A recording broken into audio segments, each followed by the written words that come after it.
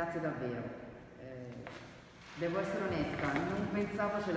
che ce l'avremmo fatta. Quando l'avevamo programmata era marzo, eravamo partiti eh, a dicembre a parlare della mostra, avevamo fatto in questo palazzo un incontro con il professor Faccenda dove venne a raccontarci eh, Ottone Rosai. Fu un pomeriggio veramente strepitoso, magico devo dire perché eh, raccontò aneddoti e percorsi di vita del, del, eh, di Ottone Rosai che nessuno di noi conosceva e lì nacque davvero la curiosità per, per, questo personaggio. Si cominciò a lavorarci, devo dire che io per questo non posso far altro che ringraziare chi poi materialmente si occupa di queste cose, quindi permettetemelo, in primo ringrazio Piero. Piero che ha la capacità di eh, mettere in fila tutte le richieste che noi facciamo e concretizzarle, perciò davvero grazie Piero. Insieme a te ovviamente ringrazio Lauretta e Sandra e ve le farò poi in separata sede.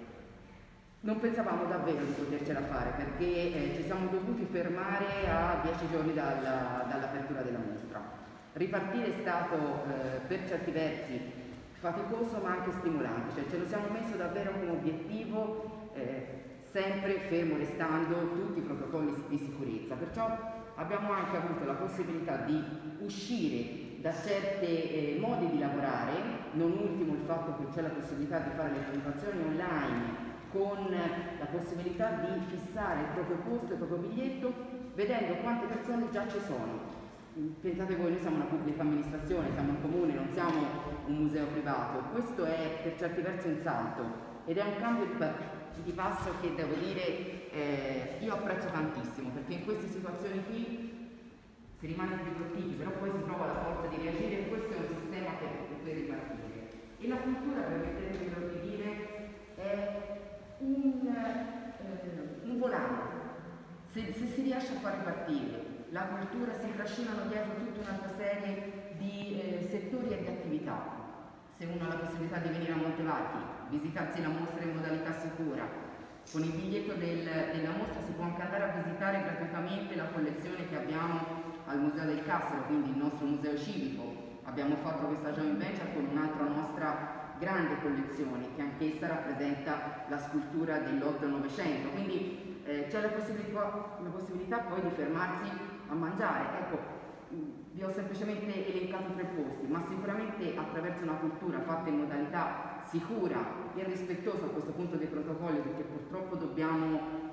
convenire che questa cosa non passa in tempi rapidi e quindi in qualche maniera dobbiamo imparare a conviverci, ecco,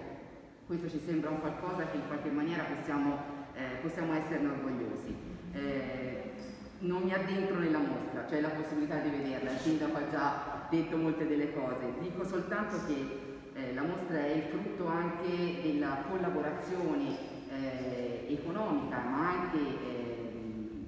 come posso dire, a titolo gratuito comunque morale, di una serie di enti e di una serie di aziende. Ne abbiamo alcune che ci hanno fornito del materiale, quindi abbiamo degli sponsor tecnici così come abbiamo degli sponsor eh, economici, ne cito uno per tutti ma semplicemente perché eh, sarebbe una ingagnata inutile eh, ed è eh, la Camera di Commercio che ci è sempre a fianco su queste cose, per cui eh, credo davvero che anche una piccola realtà come Montevarco, perché non è davvero nel circuito dei grandi musei, delle grandi città, siamo riusciti in almeno un paio di occasioni a fare due mostre di livello nazionale e in alcuni casi internazionale. Perciò davvero grazie ancora a chi ci ha dato l'opera, grazie a chi ha prestato la propria intelligenza e il proprio sapere e grazie a chi ha fatto eh, in modo che eh, dal, 29 di, dal, sì, da, dal 29 di ottobre fino al 31 gennaio eh, si potesse avere una mostra di questo livello a Montevarchi. Grazie ancora.